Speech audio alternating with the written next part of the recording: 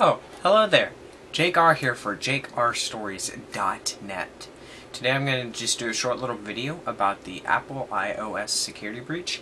I did an article on this story about a couple days ago on my website at JakeRStories.net. It should be under WWW News or Personal Blogging.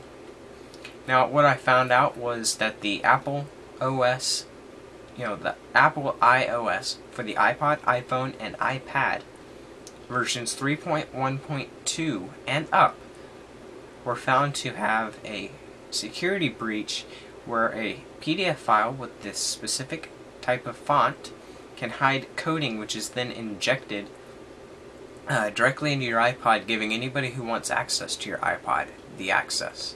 Um, uh, th there's a few simple ways of doing this. You can simply not open PDFs. You can simply only open PDFs from trusted websites, or you can jailbreak your iPod, which I do not recommend because it is against the Apple warranty.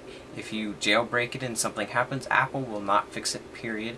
Um, but basically, um, you can either not open PDFs, only do trusted PDFs, or jailbreak your iPod and inside one of the, let me pull up the article on my website. Cydia, you can download the PDF loading warner.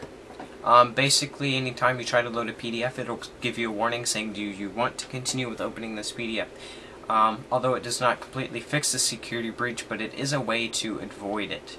Um, but uh, that's all for this episode of you know Jake R Stories on YouTube. This is not part of the vlog. Um, don't forget to check out www.jakeRstories.net, www.youtube.com slash. Productions if you're on my website watching this video, or www.racoonscorner.net, or not .net, .com, sorry, racoonscorner.com. That is one of my friends' websites. Don't forget to check out www.myspace.com slash rock music. Link will be in the sub bar below. You can subscribe up here or it might be over here. I'm to go with right here. Don't forget to like it over here, I believe, and comments in the section below. Oh, and YouTube, tell me, should I start making t-shirts?